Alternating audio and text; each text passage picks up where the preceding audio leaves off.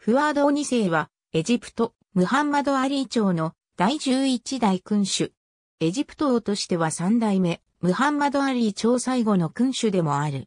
一歳にも満たないうちに即位し、体感も行わずに、その翌年には王政廃止で退位したため、実質的な統治は行わなかった。それゆえトーファールーク一世が最後の君主とされる場合もある。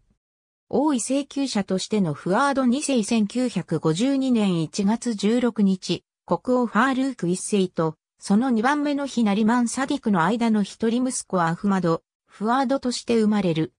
同年7月23日に、ムハンマド・ナギーブとガマール・アブドゥナーセルに率いられた自由将校団によるクーデターが発生。ファールーク一世は退位し、亡命した。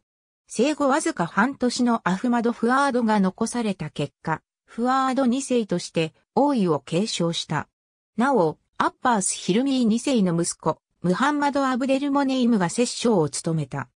しかし、翌1953年6月18日に自由、将校団は王政廃止と共和制移行を宣言し、一歳のフワード2世は体感しないまま廃位され、ナギーブが新共和国の初代大統領に就任した。すでにクーデターで有名無実となっていたムハンマド・アリー朝はこの時、名実ともに終焉を迎えた。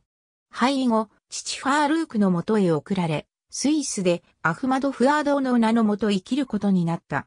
フランスに移住し、1976年にフランス人のドミニク・フランス・ピカールと結婚した。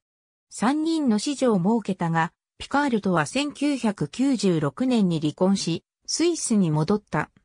2013年4月27日、長男で警視のサイード公、ムハンマド・アリーと、旧アフガニスタン王室のノワル王女の婚約が発表された。ノワル王女は、最後のアフガニスタン国王であるザーヒル・シャーの孫娘にあたる。二人の結婚式は、同年8月30日に執り行われた。ありがとうございます。